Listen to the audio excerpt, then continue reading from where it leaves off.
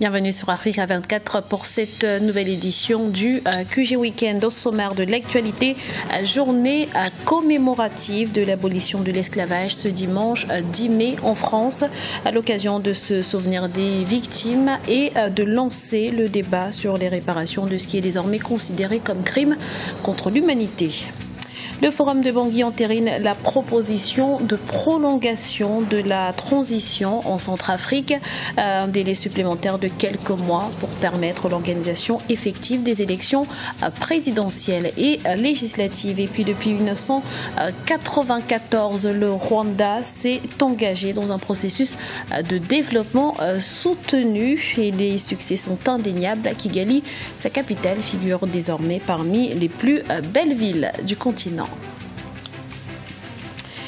Commémoration ce euh, dimanche 10 mai de l'abolition de l'esclavage en France, l'occasion d'honorer euh, le souvenir des victimes et d'engager une réflexion générale sur l'une des plus grandes tragédies de l'histoire de l'humanité qui a vu partir hors du continent euh, des millions d'Africains. Et Paratindiaï. Journée commémorative de l'abolition de l'esclavage en France 10 mai cette date correspond à l'adoption par le Parlement le 10 mai 2001 de la loi Taubira reconnaissant l'esclavage comme crime contre l'humanité. Plusieurs cérémonies pour rendre hommage aux victimes du commerce triangulaire sont prévues à travers le monde. C'est une journée qui est nationale, c'est une journée de commémoration, mais on, sent néanmoins que la portée nationale n'est pas vraiment présente. On a toujours le sentiment que cette histoire de, de l'esclavage, c'est pas vraiment l'histoire de France. C'est une histoire un peu à part, qui n'est pas vraiment dans le récit national. Cela est lié surtout au fait que cette histoire-là n'est toujours pas enseignée dans les classes. Euh, en dépit de la loi Taubira, qui demandait justement à ce qu'il y ait un enseignement de cette histoire. Y a toujours des réticences à en parler du point de vue du savoir, à encourager la production liée à cette histoire-là, et surtout à mettre sur la table une histoire dont on dit qu'elle divise elle diviserait les, les descendants, les afro-descendants des, euh, des, Français. Elle instituerait en fait les responsabilités par héritage, c'est-à-dire que les descendants des négriers seraient responsables de ce que leurs ancêtres ont fait, et les euh, descendants des esclaves seraient descendants de victimes perpétuellement. Donc il y a toujours cette difficulté à sortir de ce prisme-là, qui selon moi est entretenu de manière fallacieuse par l'État français, qui ne veut pas reconnaître réellement ses responsabilités. Aujourd'hui, la question de réparation est de plus en plus d'actualité. Lors du discours de l'an dernier, le président Hollande avait clairement dit qu'il fermait la porte aux réparations en citant de manière erronée Aimé Césaire. Aimé Césaire disait qu'il fallait justement des réparations. Cela est d'autant plus problématique vu que d'autres groupes euh, bénéficie de réparation. On sait qu'il y a une commission qui a été mise en place par rapport aux biens spoliés aux Juifs pendant la Seconde Guerre mondiale. On sait qu'il y a des, des travaux d'historiens qui sont en mesure de cibler d'où euh, proviennent les richesses qui sont nées euh, justement de, de, la traite et de l'esclavage. On sait également que dans d'autres pays, notamment aux États-Unis, il y a eu des procès qui ont amené des entreprises, notamment qui avaient des esclaves à verser des réparations sous diverses formes. Ça pu être des bourses d'études, ça pu être des fondations créées. Donc il y a, il y a des précédents la matière, mais la France, de son côté, reste euh, particulièrement fermée sur cette question. Donc cette question des réparations aujourd'hui me semble tout à fait légitime. Rappelons que l'esclavage a duré plus de trois siècles et a fait plusieurs millions de déportés. Il a entraîné le dépeuplement du continent africain qui s'est vu privé de nombreux hommes valides. Après trois jours de travaux au Forum de réconciliation de Bangui, la plénière a commencé à adopter euh, ce samedi les recommandations faites par les quatre groupes.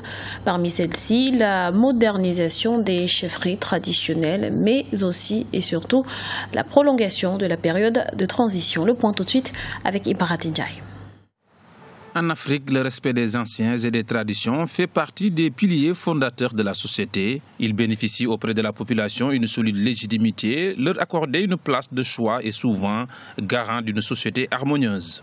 Le Forum de réconciliation de Bangui semble l'avoir compris. Il souhaite construire la paix avec les chefs traditionnels.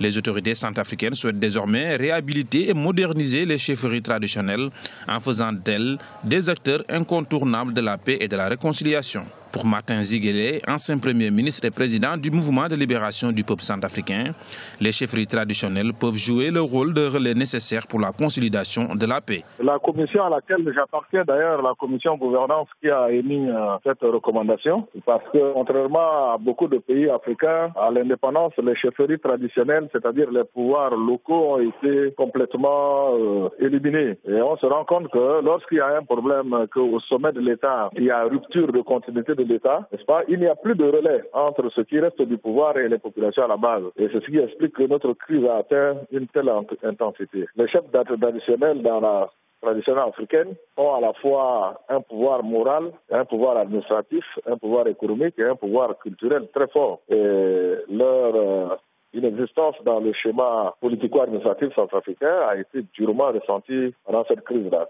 à tel point que pour trouver des médiateurs sociaux, des médiateurs communautaires, il a fallu faire des pieds et des mains et chaque jour qui passait, c'était synonyme de mort, de destruction, etc. D'autres points comme la création d'une haute autorité de la bonne gouvernance, l'adoption d'une loi sur la liberté religieuse ou la reconnaissance de l'incompatibilité entre fonctions politiques et militaires figurent parmi les propositions du rapport sur la gouvernance. Bon, le premier point, c'est que tous les Centrafricains disent et ils ont raison que depuis 30 ans, depuis 1980, nous avons commencé des séminaires nationaux de réflexion, de dialogue politique, des grands débats nationaux, etc. Et les recommandations sont toujours restées lettres mortes. De notre côté, beaucoup de Centrafricains, et à juste titre aussi, se plaignent de la corruption, de la grande corruption, de la moyenne corruption, de la petite corruption. Et tout cela n'a pas de traduction institutionnelle, c'est-à-dire législative ou réglementaire, puis institutionnelle. C'est pour ça que la commission gouvernance a dit, euh, comme les mots sont répétitifs, les recommandations également répétitives, il faut donner force contraignante à cette recommandation-là en mettant en place une haute autorité de lutte contre la corruption et la promotion de la bonne gouvernance. Cette haute autorité aurait le rôle à peu près du vérificateur général au Mali ou de l'auditeur général dans les pays anglo-saxons. Samedi, d'autres recommandations en matière de gouvernance et de développement économique et social ont été adoptées. Autre point important du forum de Bangui, l'adoption de la proposition de prolongation de la transition, une prolongation indispensable puisque le président de l'autorité nationale des élections a déjà indiqué ce jeudi 7 mai que l'échéance de juin-juillet ne pourra pas être tenue en ce qui concerne l'élection présidentielle. L'actualité économique à présent, avec une croissance une fois et demie plus rapide que celle de l'économie mondiale et une population appelée à doubler dans les 30 prochaines années, l'Afrique est en plein essor économique. Le continent reste toutefois confronté à de nombreuses difficultés. En tête de liste, la transformation structurelle de ces économies. Le point tout de suite avec Birama Saunera. Le continent africain est annoncé comme le prochain pôle de développement et de croissance. Pour ce faire, les pays africains se sont engagés à asseoir les bases de la transformation structurelle de leurs économies. Aujourd'hui, la consolidation et la pérennisation des bases d'une croissance forte, compétitive et inclusive sont plus que nécessaires sur le continent africain. Il y a tout ce qu'il faut faire pour la transformation euh, de notre économie, euh, notamment accorder une valeur ajoutée à nos matières premières euh, via la transformation. Et puis enfin, le rôle donc, du capital humain en tant que certainement résultat donc, de l'émergence, mais aussi en tant qu'ingrédient de l'émergence. La voie de l'émergence pour l'Afrique passe aussi par la mise en œuvre des politiques concrètes, mais aussi des efforts internes de chaque pays. En Côte d'Ivoire, les autorités ont mis l'accent sur plusieurs facteurs pour accélérer le développement économique. Notre plan actuel a conduit donc à une croissance euh, qui maintenant avoisine les, deux chiffres et cette croissance a été portée euh, par un certain nombre de secteurs, principalement l'agriculture qui continue donc d'être au cœur de, notre économie, mais aussi les infrastructures. Maintenant, le bâtiment commence à s'enregistrer. Donc, ce sont ces secteurs qui ont porté. Pour beaucoup d'observateurs, le continent affiche l'un des meilleurs taux de croissance dans le monde. Cependant, le continent africain fait face à plusieurs défis, celui de la paix, de la sécurité et de l'instabilité. Une situation qui nécessite la mise en place d'une stratégie commune à l'échelle continentale pour une croissance rapide et inclusive.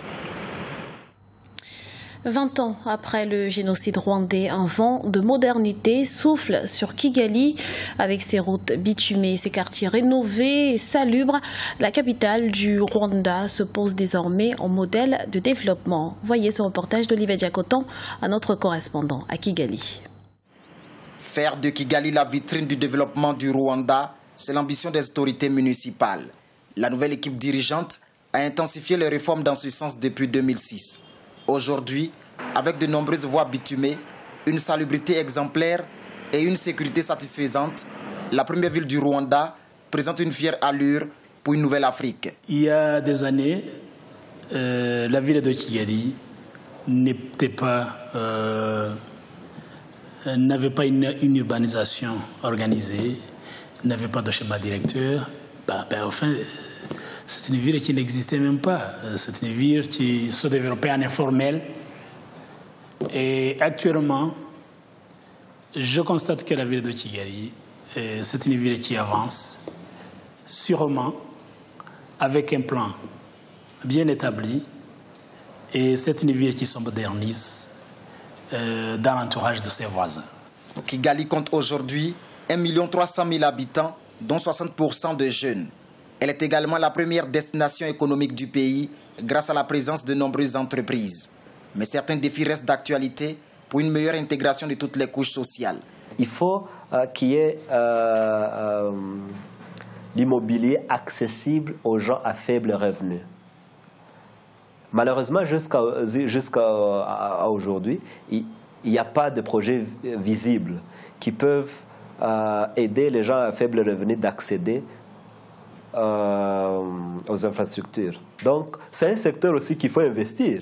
Et je n'en douterai pas que si, si quelqu'un investissait dans le secteur immobilier, déjà à faible revenu, il, aura, il, aura, euh, il aura fait un grand projet. Kigali a été reconnu en 2008 comme meilleur modèle de développement en Afrique par les Nations Unies. Les autorités rwandaises accentuent actuellement la construction d'infrastructures dans de nouvelles villes satellites pour un développement harmonieux du Rwanda. Ce journal a été réalisé par l'ensemble de la rédaction. Merci de l'avoir suivi. Dans un instant, une nouvelle édition de l'information sur Africa 24.